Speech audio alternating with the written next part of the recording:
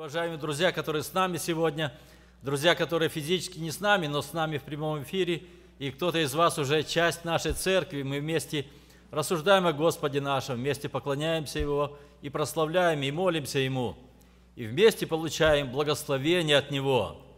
Я желаю поделиться местом мыслями, и место Священного Писания, которое я взял в основание, это послание к евреям, 13 глава, 8 стих.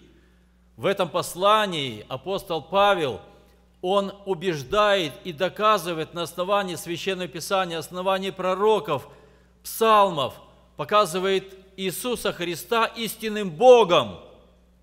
И он в этом стихе говорит, Иисус Христос вчера, сегодня и во веки тот же. Он Бог, Он неизменен. Вот я сегодня хотел поговорить о Боге нашем – о Боге Отце, который достоин внимания нашего, достоин славы, достоин поклонения, и это будущность наша. Бог многократно и многообразно народу своему, потомкам Авраама, Исаака, Иакова, наследникам обетования, Он говорил в пророках, а в последние дни Он говорил нам в Сыне Своем, Иисусе Христе, который открыл. Как же Бог являлся? Когда мы читаем Ветхий Завет, я удивляюсь и поражаюсь любовью Бога, Бога Отца, который всегда искал человека и желал с ним иметь общение. И вот одна такая личность – это Моисей, который чудно был сохранен, чудно возрос – и Бог явился ему. Это записано в книге «Исход», 3 глава, 4-6 стихи прочитаем. Здесь Моисей, он пас овец у тестя своего, и явился ему ангел Господень. И Господь, и когда Моисей увидел куст терновый, который горит и не сгорает, не было удивительным то, что куст загорелся, было удивительным, что он никак не сгорает. Огонь продолжается. И Моисей направился, чтобы посмотреть, что это такое. И 4 стих, Господь увидел, что он, Моисей, идет смотреть. И возвал к нему Бог из среды куста и сказал, «Моисей, Моисей!» Он сказал, «Вот я». И сказал Бог, «Не подходи сюда, сними обувь твою с ног твоих, ибо место, на котором ты стоишь, есть земля святая. И сказал, я Бог отца твоего, Бог Авраама, Бог Исаака и Бог Иакова. Моисей закрыл лицо свое, потому что боялся воззреть на Бога. Это Бог явился Моисею. У Бога был план по отношению к Моисею лично и ко всему наследию – Авраама, Исаака, Иакова. И чтобы исполнить этот план, Бог увидел Моисея. Он увидел его, когда он был таким маленьким, когда в корзинку ложили. Он видел его еще, когда он был в утробе матери. И он его избрал на особое служение. И вот Бог явился ему. И он сказал, что я услышал – и я желаю, имею планы вывести народ мой, и ты будешь вождем, ты выведешь. Иди к народу и скажи. И тогда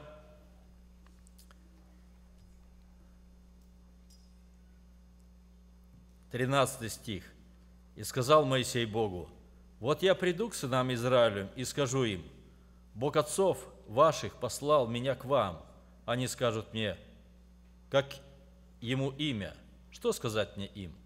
Бог сказал Моисею, «Я есть им сущий», то есть Иегова, и сказал, «Так скажи сынам Израилевым, сущий послал меня к вам». Бог открылся в новом имени для Моисея. Далее, в 6 главе, 4 стихом, Бог говорит, «Являлся я Аврааму, Исааку и Иакову с именем Бог Всемогущий, а с именем моим Господь Иегова не открылся им. Вот оно новое имя, которое Бог открыл, имел план. И Моисей исполнил то, что Бог поручил ему. Это был новый период выхода народа израильского, потомков Авраама, Исаака и Якова из египетского рабства. Это был долгий путь. Почему долгий путь? Нам Священное Писание открывает. Когда мы смотрим на карту и удивляемся, что они кружили 40 лет, а Бог сказал, по упорству вашему, потому что вы роптали, этот путь 40 дней. А Бог сказал, год за день из-за вашего жестокого сердца, чтобы воспитать вас, чтобы показать, что внутри у вас Богу пришлось народ вести так долго. Это был долгий путь, и там было много искушений. И там Бог являл силу свою, могущество свое, заботу свою и любовь. В четвертой книге Моисея, книга чисел, в 16 главе записано особый случай. И он называется так «Возмущение Корея». Когда мы видим, что Корей и друзья его собрались вместе, и со второго стиха 16 главы книги чисел написано «Восстали на Моисея, и с ним из сынов израильских 250 мужей, начальники общества, призыв, призываемые на собрание, люди именитые, и собрались против Моисея и Аарона и сказали им, «Полно вам, все общество, все святые, и среди их Господь. Почему же вы ставите себя выше народа Господня?» Моисей услышал это, пал на лицо свое и сказал Корею и всем сообщникам его, говоря, завтра покажет Господь, кто его и кто свят, чтобы приблизиться к нему, приблизить его к себе, и кого он изберет, того и приблизит к себе. Это было страшная для нас история, событие, которое произошло в стане народа израильского, когда Бог поставил Моисея и опорою ему Аарона. Бог говорил Моисею, Моисей говорил Аарону, а Аарон, имея красноречие, говорил народу, и народ принимал. Но вот здесь произошло восстание.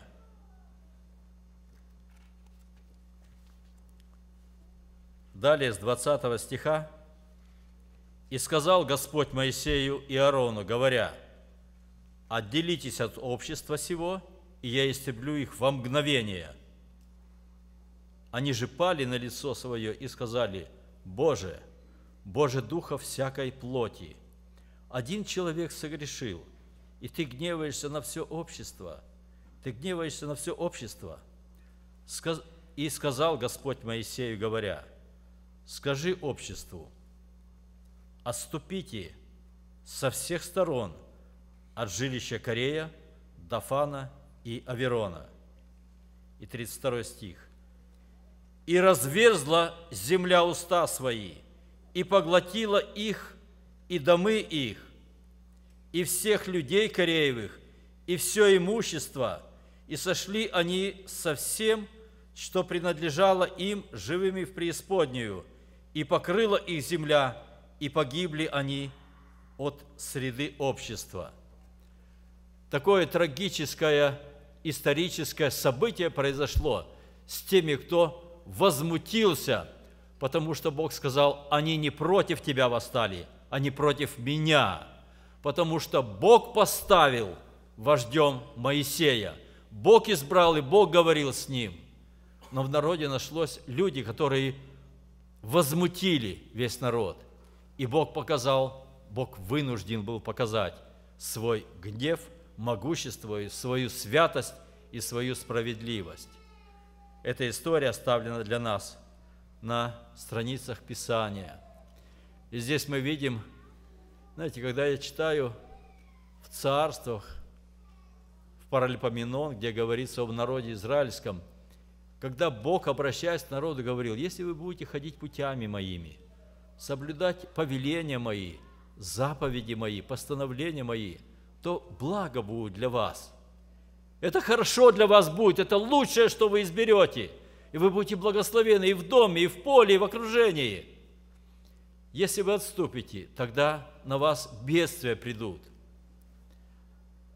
И мы видим, что царь и народ служили Богу, поклонялись. Сколько благословений было, сколько Бог защиты являл, сколько Бог мир являл и освобождение являл.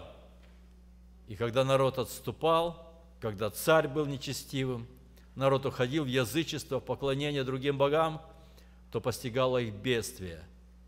Я думаю, почему Бог вновь не разверзлась земля и не поглотила тех, которые бесчинного того царя беззаконного.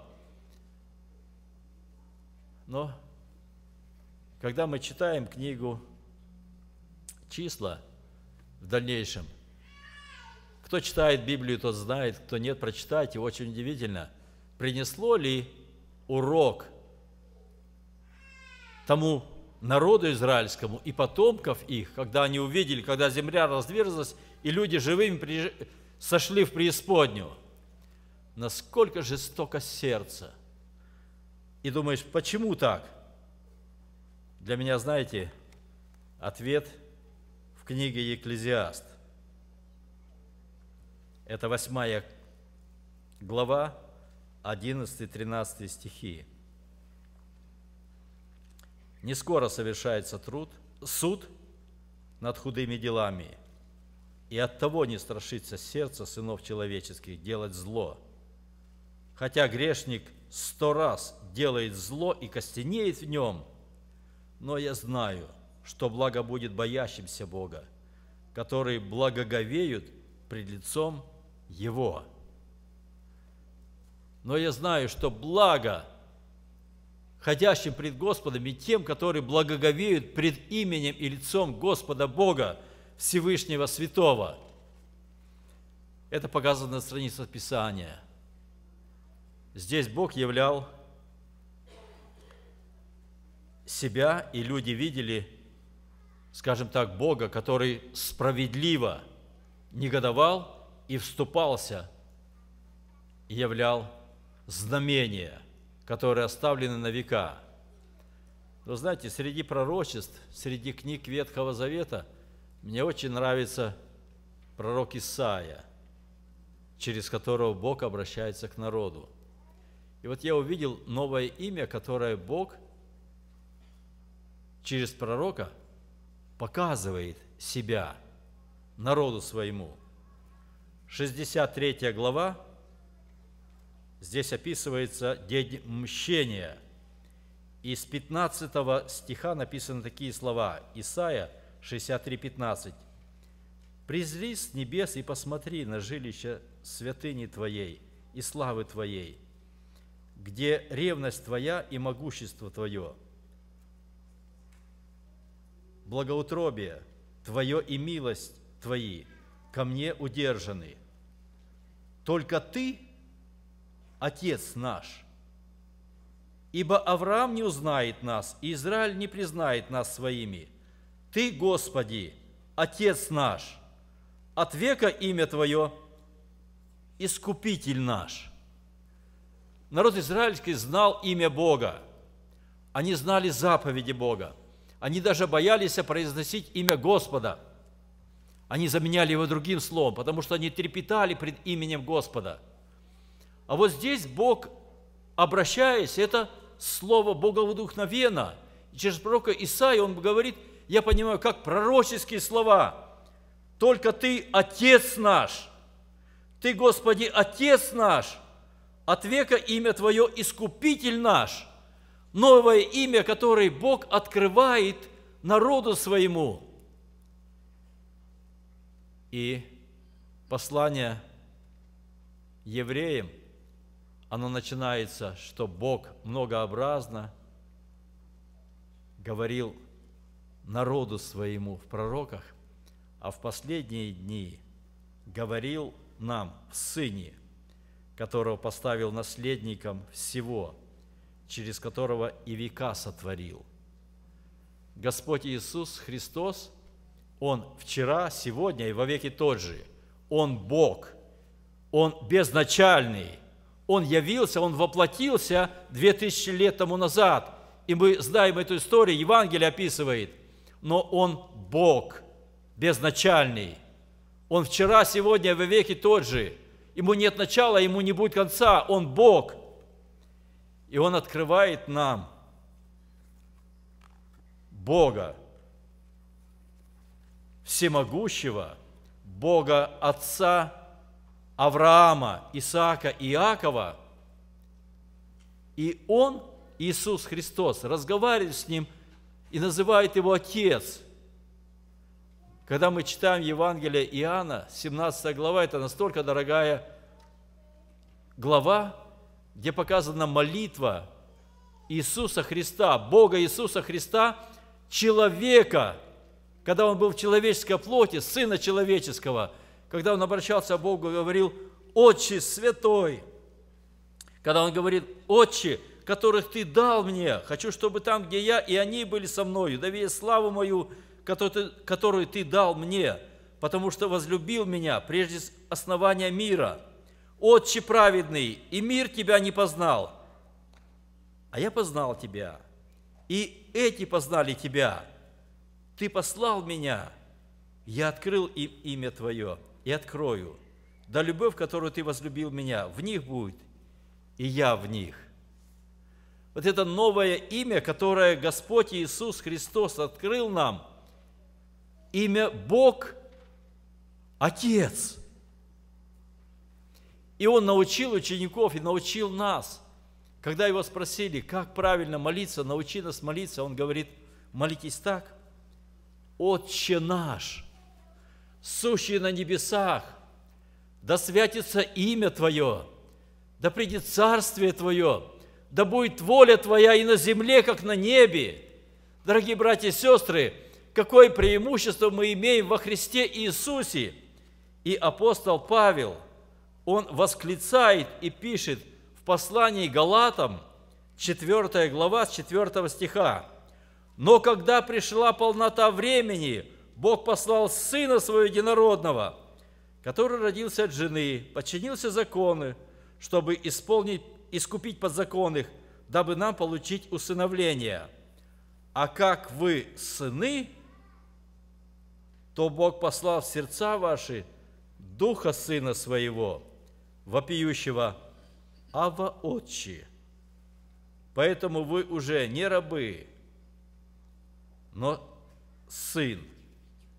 А если сын, то и наследник Божий через Иисуса Христа.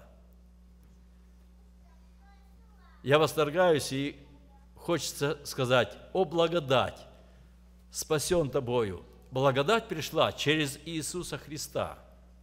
И через Иисуса Христа Бог открылся нам, как Отец, которым можем, папочка, Бог, Отец, обращаться, и Он слышит нас, потому что послал в сердца наши Духа Сына Своего. Это живая Троица, который возродил нас для новой жизни – и живет нас, и ведет нас, и приготовил нам вечность. Это вечное наследие.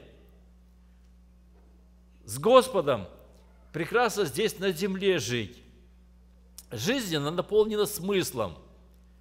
С Ним очень легко и правильно все вопросы жизненные решать. И школу заканчивать, и экзамен сдавать и идти в драйв-центр и сдать драйв-тест. Помолившись, и получаем благословение. С ним правильно и не ошибешься создать семью, выбрать спутницу или спутника жизни, и с ним правильно и благословенно начать жизнь здесь, с благословения Божией, который в сердце живет, и церковь созидает, и приготавливает к вечности. С ними трудности есть и переживания, Знаете, наша старшая сестра, они семьей живут там, в России, и их постигла сильная болезнь в тяжелой форме COVID. И настолько страдают. Муж ее, Борис, он в больнице, в госпитале лежит. Теперь его перевели в реп-центр, она дома, и колят ее лекарства. Очень тяжелое. И знаете, мы с семьей имеем переписку. И она сестренке старшей, которая здесь живет, позвонила, написала – и она нам переслала. И потом мы молились много, и знаете, потом сестра это говорит, которая говорит, какое мы имеем преимущество и благо, когда можем вместе объединиться, и нам есть к кому обратиться.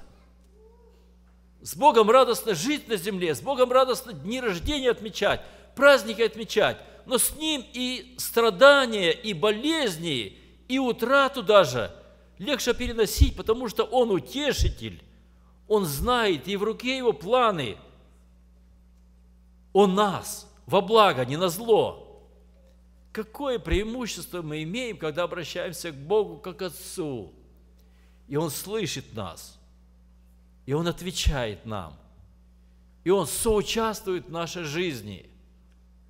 Дорогие братья и сестры, через Господа Иисуса Христа мы имеем доступ к Богу, тому, который говорил, говорил с народом своим, а они боялись и говорили, Моисей, ты иди и разговаривай, а потом скажешь, что он сказал, и мы исполним. Только мы боимся туда подходить. Бог вчера, сегодня и во веки тот же, Он не изменился. Он не стал, извините меня за такое слово, добрее к нам во время благодати. Нет, Он тоже остается свят, свят, свят, Господь Саваоф.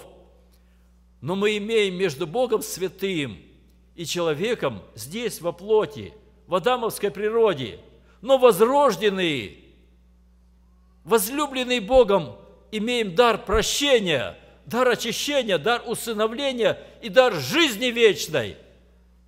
Мы имеем посредника Иисуса Христа. И когда даже мы не знаем, как правильно молиться, Он, Дух Святой, ходатайствует за нас – воздыханиями неизреченными. Он остался тем же Богом, но мы имеем ходатая, посредника, спасителя нашего, искупителя нашего. И когда мы падаем, когда согрешаем, Бог не закрывает глаза на это, нет, но есть посредник Иисус Христос, кровь которого она омывает, очищает и оправдывает. Когда есть ходатай, тот, который говорит, да, он согрешил, но за его грех я заплатил. Он мой. Отец, он твой. Какое преимущество? Знаете, у меня одна мысль, которую я хочу поделиться в центре. Это книга пророка Малахия – это последняя книга, на которой заканчивается Ветхий Завет. И в первой главе Бог показывает любовь Божию к Израилю и указывает на его неблагодарность. Из 6 стиха 1 главы книги Малахи записаны такие слова. «Сын чтит отца и раб господина своего». И Бог говорит – если я отец, то где почтение ко мне? Если я Господь, то где благоговение предо мною? Говорит Господь Саваоф вам, священники, бесславящее имя Мое. Вы говорите, чем мы бесславим имя Твое? Вы приносите в жертву мой, на жертвенник мой нечистый хлеб, а говорите, чем бесславим Тебя? тем, что говорите, трапеза Господня не стоит уважения, и когда приносите в жертву слепое, не худо ли это? Или когда приносите хромое и больное, не худо ли это? Поднесите это твоему князю, будет ли он доволен тобою, и благословенно ли примет тебя, говорит Господь Саваоф. И один стих.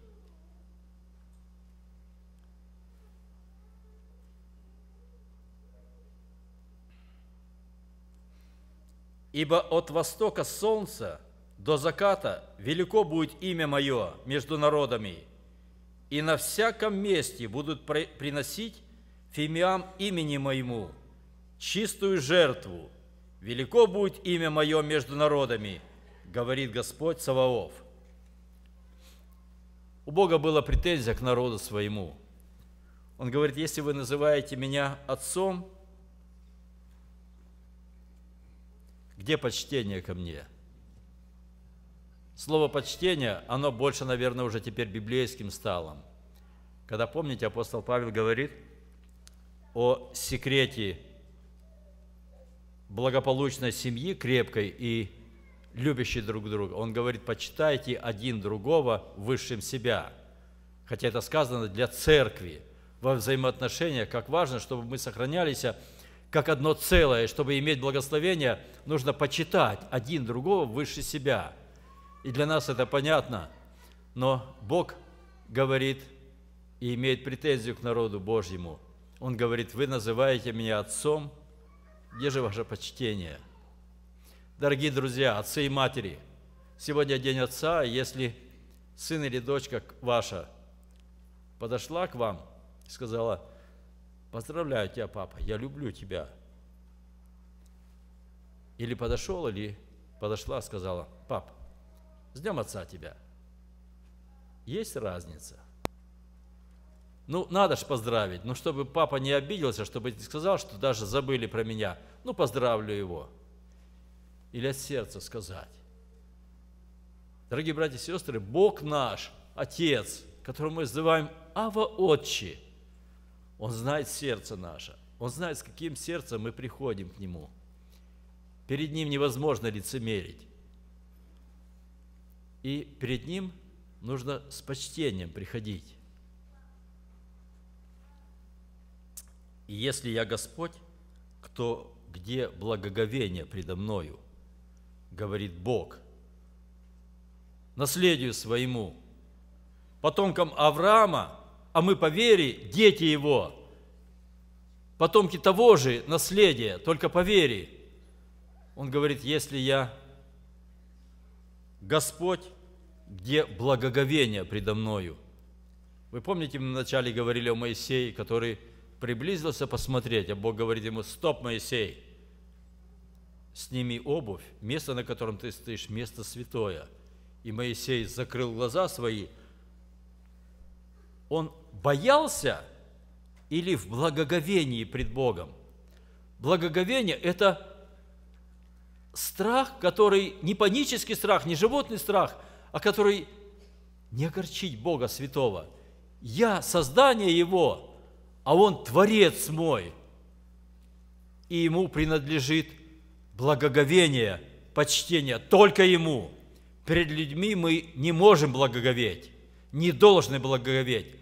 Людям мы должны почтение или уважение оказывать, а вот пред Богом это благоговение – знаете, слово говорит, что по причине умножения беззакония в мире сегодня оно умножается, во многих охладеет любовь. Дорогой брат и сестра, насколько мое внутреннее состояние, сердце мое в почтении к Богу Отцу и в благоговении пред Богом Господом, которого Иисус Христос, Сын Божий, Сын человеческий, придя, Он позволил нам, дал нам право называть Отцом Своим. И апостол говорит, мы, исполнены Духа Святого, обращаемся к Нему, папочка, Отец, с нуждами нашими, и Он любит нас. Он доказал это. Но пред Ним Он вчера, сегодня и во веки тот же. Он не изменяется. Он обращается и говорит – если Отец, где почтение? Если Господь, где благоговение? А в чем не благоговение? А народ приносил жертвы и говорили, да это не стоит. И приносили, князю нельзя было принести ягненка, хромого, слепого или уродливого, а на жертву приносили. Какое лукавство! Человеку стыдно принести – а Богу можно. знаете, Бог не изменился. Вот в этой главе, я понимаю, что это Ветхий Завет, но это важное место Священного Писания.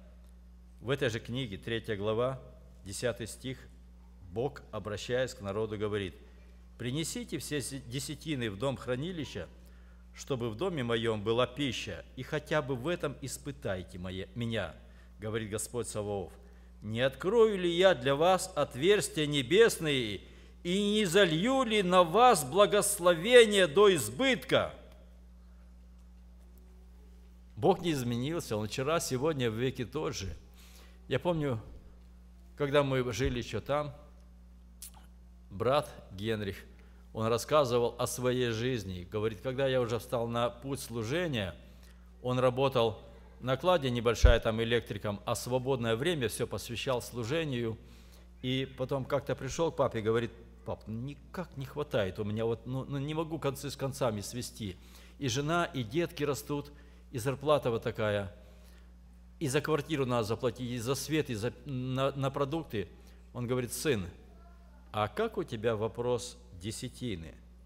Он говорит, пап, я-то получаю 60 рублей в месяц. Он говорит, сын, я же тебя не спросил, сколько ты получаешь. Как у тебя вопрос десятины? Вот те деньги, которые ты получаешь, Бог не хочет забрать у нас десятую часть. Бог нам дал вот столько и говорит, пользуйся вот столько, твое, а мне дай десятую часть. И где Бог говорит, испытайте меня? Вот он здесь говорит, хотя бы в этом испытайте. Не увидите ли, что я открою для вас небесные отверстия и благословение будете иметь? Я думаю, кто испытал это в жизни своей, тот знает, насколько Господь благословляет и восполняет. Дорогой брат и сестра, твое участие есть в жизни церкви в материальном служении – Дорогие друзья, которые с нами находятся в прямом эфире, может быть, вы к церкви не имеете отношения. Может быть, там, где вы живете, даже церкви нету. Неважно. Вы испытайте в жизни своей. Если даже вы еще не следуете за Господом, и вы не вошли в церковь, испытайте. Если у вас нету церкви, отделите от дохода вашего десятую часть. Это не ваше, это Богу послужите – Помолитесь, и Бог укажет вам сироту, вдову, Евангелие для Турции,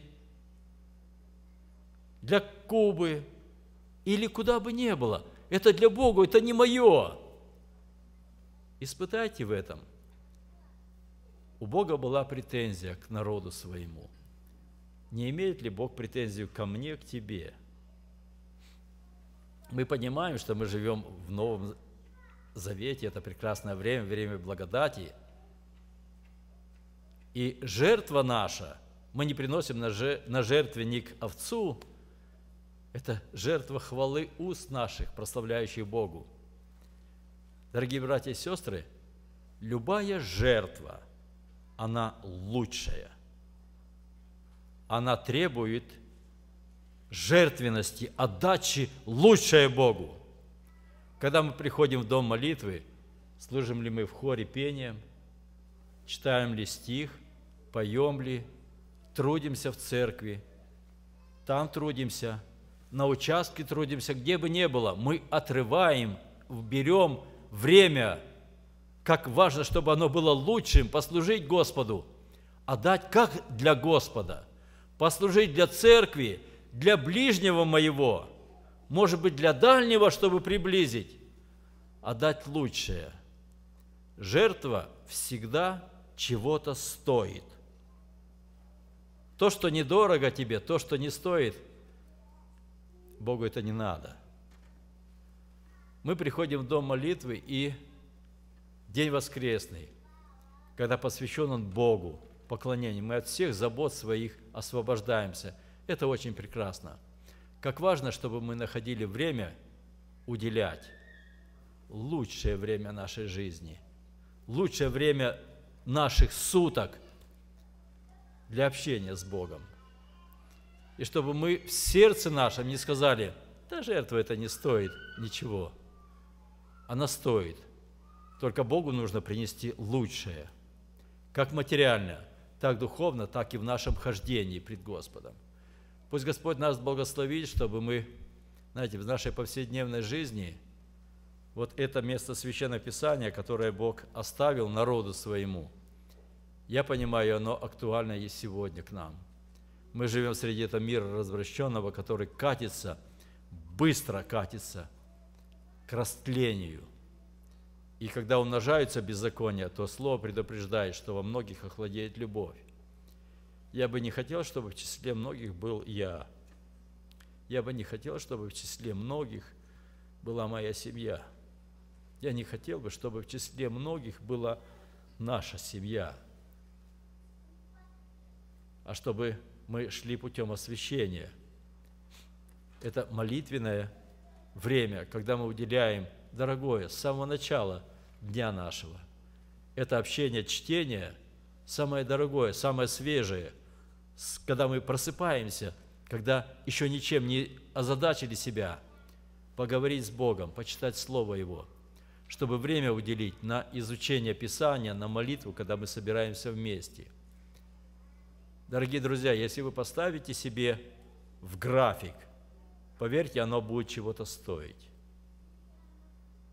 Если это свободное время, когда nothing to do, тогда, тогда пришел до молитвы – Богу такое не надо. А вот если вы посвятите время, оторвете, отрежете от чего-то, освободите, посмотрите, какое благословение будет для вашей жизни, для вашей семьи, для нашей церкви. Сын чтит отца и раб господина своего.